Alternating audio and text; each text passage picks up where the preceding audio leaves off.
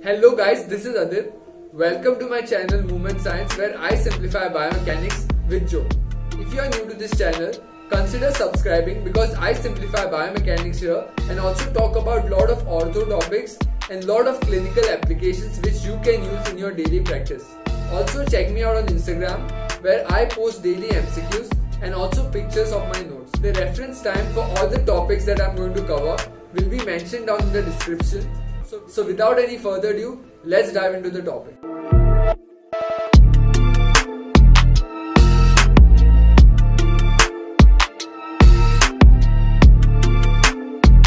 In this video, we are going to talk about the glenohumeral joint structure. So this topic I have divided into two parts. In the second part, we will be talking about the ligaments specifically. So this part will be dealing about the articulation and the orientation of the glenoid fossa and your humerus. And along with that, we'll also talk about the labrum. So if you look at the glenohumeral joint, this is your scapula and this is your glenoid fossa and this is humerus where the articulation of the glenoid takes place with the humerus, right? So the proximal articulation is your glenoid and the orientation of glenoid is very important. So it is upwardly tilted and also it is not in the scapular plane. Now we talked about the scapular plane in our last videos. The scapular plane is basically the plane in which the scapula is angled. The scapula is not exactly in the coronal plane, right? It is slightly angled forward. So this is your scapular plane and the glenoid does not lie in the same direction. It is tilted slightly posteriorly or anteriorly. That is, it is not in the scapular plane. There is an anterior tilt or a posterior tilt. The posterior tilt is also called as the retroversion. That is, there is small amount that is 6 to 7 degree of posterior tilt of the glenoid. So if this is a glenoid, the glenoid is tilted slightly posteriorly and it's hardly any degrees it's 6 to 7 degrees so you can hardly see it but there is some amount of posterior tilt. Next is the radius. The radius of your glenoid fossa is very less compared to a humerus. See, the humerus has such a big surface area whereas glenoid has a very small area. Now this area is increased by your articulating cartilage that is present on top of the glenoid. So this articulating cartilage is basically thin at the center and thick distally. So let's look at this.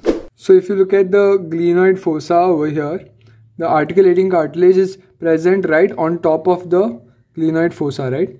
And it is very thin at the center. If you can see, it's very thin and distally, it is very thick.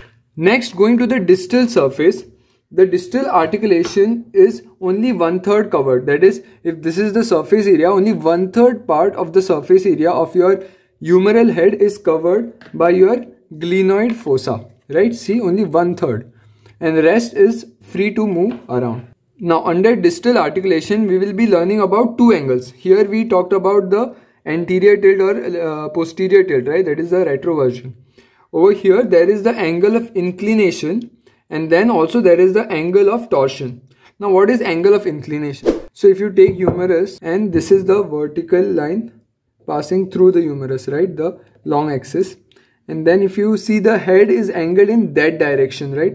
So if you take that line over here the angle that is formed between these two lines this angle is called as the angle of inclination. That is how much the head of the humerus is inclined upward so that angle is around 135 degrees whereas angle of torsion is around 30 degrees posteriorly. Now let's look at the angle of torsion. So when we are talking about the angle of torsion this is your anterior side of your humerus and this is the posterior side right? So torsion is basically if you see the long axis of the humerus this is your head right? And the head is facing in this direction right? So the torsion is basically the direction of your head goes anteriorly or posteriorly right so that is basically the humeral torsion. Most of the times it's on the posterior side. So commonly there is around 30 degree of posterior torsion that is seen in the humerus. But however, this varies from person to person. So if there is increased posterior torsion, what happens is anatomically if you see there is an increased posterior torsion, this allows your shoulder joint to go for more of external rotation and less of internal rotation due to which there are higher chances of posterior dislocation of your shoulder joint. So if you take your humerus, this is your internal rotation and this is your external rotation. So if there is increased external rotation, there are more chances of your humerus dislocating posteriorly. Whereas if there is increased anterior torsion, there is reduced external rotation, whereas there is increased internal rotation. So if you take your humerus again, if there is increased internal rotation, there is increased chances of anterior dislocation. The high chances of posterior dislocation is commonly seen in throwing athletes. That is, they have humerus which have torsion on more posterior side, right? So this can be a adaptation that is formed in these athletes so they have a higher chance of posterior dislocation. Now coming to the last part that is the labrum. Labrum basically increases your articulating surface and it also increases the depth that is around 50% of your depth is given to your glenoid fossa by your labrum. If you saw earlier the glenoid fossa was very shallow right. So now if you see the labrum is present around your glenoid fossa and it gives the depth to your fossa and that's how the humerus can nicely sit in your glenoid fossa.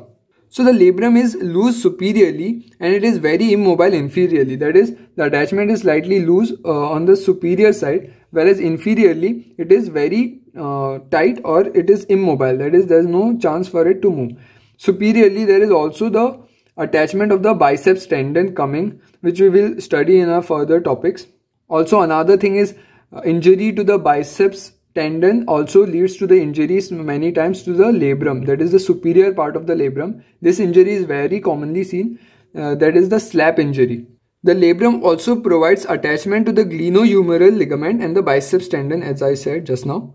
So the glenohumeral ligaments are basically the ligaments that connect the humerus to your glenoid the humeral head is connected to your glenoid by the ligaments which are present on the anterior inferior side. So these ligaments are attached to your labrum We'll talk about this in our further videos. And also to mention that the labrum, what is its structure? It is very fibrocartilaginous on the outer side. So outer side, it is very fibrocartilaginous. Whereas on the inner side, where it attaches to your bone, it is more of fibrous structure, right? the attachment where the attachment happens it is it has a more of fibrous texture compared to the outer side where it is more fibrocartilaginous. Now let's summarize the topic. We talked about the proximal articulation that is the glenoid orientation. It is mostly in retroversion and upwardly tilted. And then we talked about its radius. It's very small. And the cartilage increases its radius slightly. And also it is thin at the center and thick at the periphery.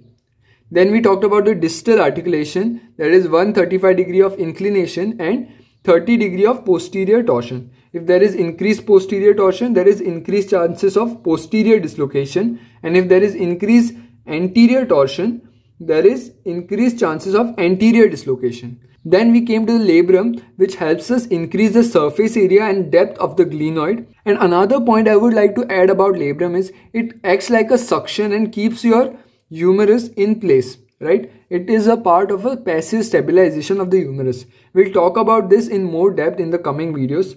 So stay tuned for that. And then finally we talked about the attachment of the labrum that is glenohumeral ligament and the biceps tendon.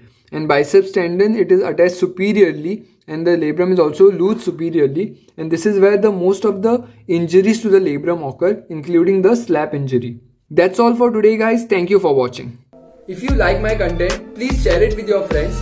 Don't forget to hit that subscribe button and also the bell icon so that you get notified every time I post a new video. Also let me know in the comment section what other videos you would like me to cover. Thank you for watching.